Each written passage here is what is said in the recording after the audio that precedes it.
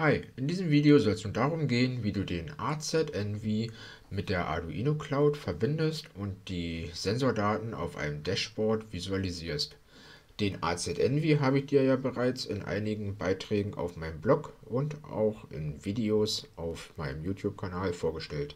Hier soll es nun speziell in die Verbindung mit der Arduino Cloud eingehen. Bauen wir zunächst einmal die Schaltung auf und schließen an den AZNV einen FTDI Adapter an, um das spätere Arduino-Programm auf diesen hochzuladen.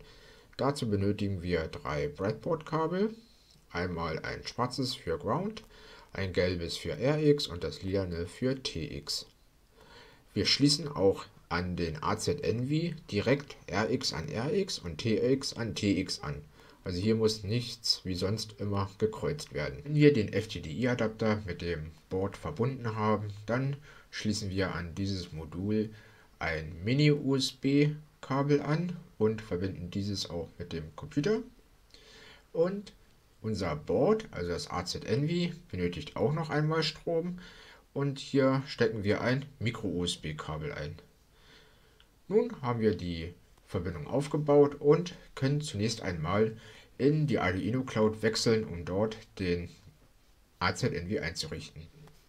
Da unser ESP8266 kein Original Arduino ist, müssen wir hier auswählen, dass wir ein anderes Gerät einrichten möchten. Und unser ESP8266 ist bereits vorselektiert und wir müssen nur noch aus der Auswahlliste den Eintrag Generic ESP8266 Module auswählen. Wenn wir diesen gefunden haben, dann bestätigen wir dieses und wählen die Schaltfläche Continue. Nun können wir unserem Gerät noch einen Namen vergeben. In meinem Fall wähle ich hier einen entsprechenden Namen AZNV und bestätige dieses mit der Schaltfläche Next. Im nächsten Dialog wird nun die Device-ID sowie der Secret Key angezeigt. Diese Daten kopiere ich mir einmal in einen Editor, weil die benötigen wir später für das Programm. Und dann können wir auch schon den Wizard abschließen. Wir sehen hier noch, dass unser Mikrocontroller offline ist, weil wir müssen ja nun erstmal ein spezielles Programm auf diesen hochladen. Ein Dashboard können wir noch nicht erstellen, weil uns fehlt ja noch das Programm.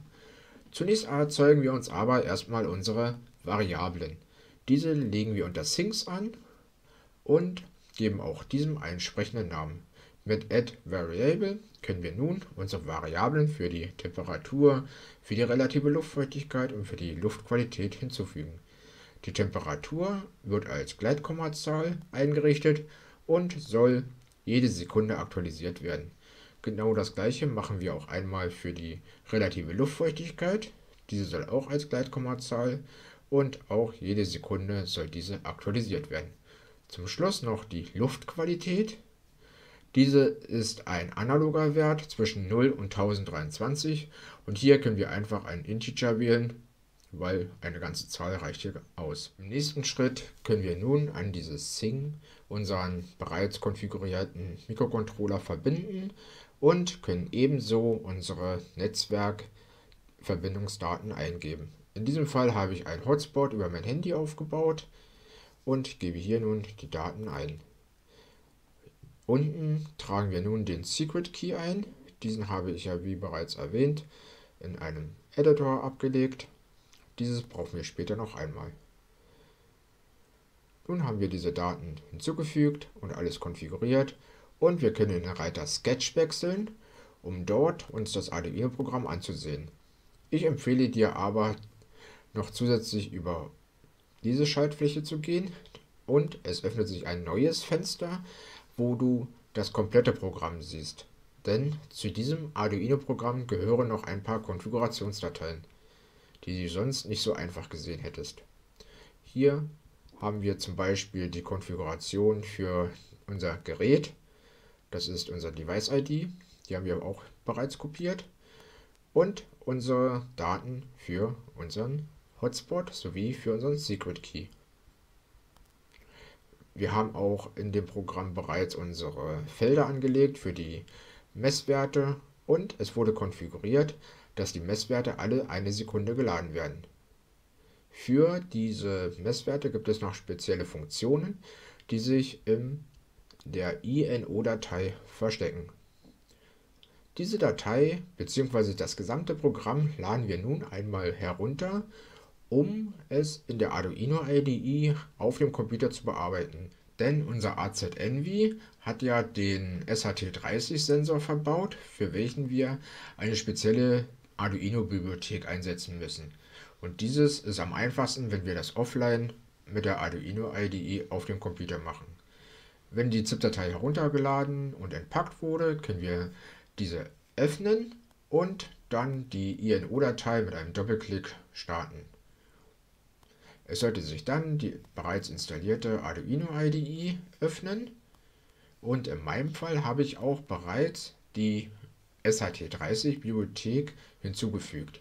Diesen Schritt überspringe ich hier im Beitrag einmal. Ich hatte dir bereits gezeigt, wie der AZNV programmiert wird. Aus diesen Beispielen kopiere ich mir nun die passenden Bausteine heraus und befülle damit dieses kleine Arduino-Programm. In der Beschreibung zu dem Video findest du auch wieder einen Link zu meinem Blogartikel und dort findest du ebenso eine ZIP-Datei mit dem fertigen Programm. Hier musst du dann lediglich deinen Device Key, Secret Key und deine Verbindungsdaten zum lokalen Wi-Fi-Netzwerk eintragen. Aber fangen wir einmal an mit dem Code. Zunächst einmal müssen wir hier die Bibliothek hinzufügen für unseren SHT30-Sensor sowie für unseren Luftqualitätssensor, unseren analogen Pin A0. In der Setup-Funktion müssen wir dann noch definieren, dass der analoge Pin A0, an welchem unser Luftqualitätssensor angeschlossen ist, als Eingang dient und in der Loop können wir dann wie gehabt unseren SHT30-Sensor auswerten und die Sensordaten auslesen. Die Funktion SHT30.get liefert 0, wenn alles funktioniert hat und 1, wenn ein Fehler aufgetreten ist. Somit erhalten wir dann unsere Temperatur und unsere relative Luftfeuchtigkeit. Außerhalb der if-Bedingungen lesen wir den analogen Pin A0 von unserem Luftqualitätssensor aus und weisen den Wert der Variable Air Quality zu. Danach müssen wir jetzt im letzten Schritt nochmal unseren Hotspot eintragen, beziehungsweise die Daten zu unserem lokalen Wi-Fi-Netzwerk und den Secret Key, welchen wir uns gesichert haben, auch nochmal eintragen. Wenn das alles geschehen ist, können wir das Programm auf den AZNV übertragen. Mit eines Programmes auf den AZNV musst du etwas beachten. Und zwar muss sobald das Connecting im Serial Output erscheint, die Taste Reset betätigen und gedrückt halten, die Flash-Taste drücken, Reset wieder loslassen und dann die Flash-Taste loslassen. Und dann wird auch das Programm erfolgreich hochgeladen. Wenn der Upload-Vorgang abgeschlossen ist, dann müssen wir das Board noch einmal manuell durch den Reset-Taster neu starten und unser Mikrocontroller sollte sich nun mit dem Netzwerk verbinden. In meinem Fall hatte ich ja einen Hotspot aufgebaut und ich sehe auf meinem Handy nun ein verbundenes Gerät. Wechseln wir also jetzt zurück zur Arduino Cloud und richten unser Dashboard ein. Im Reiter Devices sehen wir, dass unser Mikrocontroller noch offline ist aber wenn wir die Seite aktualisieren, dann sehen wir, dass dieser online ist und wir haben somit unseren Mikrocontroller mit der Arduino Cloud verbunden. Erzeugen wir nun ein neues Dashboard. Diesem geben wir zunächst einen Namen, in meinem Fall nutze ich einfach mal AZENVI. Auf dieses Dashboard ziehen wir jetzt nun für jedes unserer Variablen ein GUI-Element. In dem Fall ist es vom Typ Value, weil wir wollen zunächst einmal lediglich nur die Werte anzeigen. Der Titel wird vergeben und wir verknüpfen dieses GUI-Element mit einer Variable. Und wenn das erledigt ist, dann sehen wir auch bereits unseren Sensorwert. Das wiederholen wir jetzt nun für jeden unseren Messwert, nun für den relativen Luftfeuchtigkeitswert in Prozent und danach für unseren Luftqualitätssensor. Zum Abschluss können wir diese Elemente noch etwas ausrichten und größer ziehen oder kleiner ziehen. Und natürlich können wir nicht nur die Werte anzeigen, sondern wir können auch ein Liniendiagramm einfügen. Dieses ist genauso einfach. Wir geben diesem einen Titel. Hier möchte ich einfach mal den Temperaturverlauf anzeigen, verlinke diesen mit der Variable temp und den Rest macht unsere Arduino Cloud für uns und wir haben hier bereits die Aufzeichnung der Live-Temperatur am Laufen, wie du sehen kannst. Und damit haben wir nun unsere drei Sensorwerte des AZNV auf einem Dashboard in der Arduino Cloud visualisiert. Ich hoffe, das Video hat dir weitergeholfen und wir sehen uns beim nächsten Mal. Tschüss!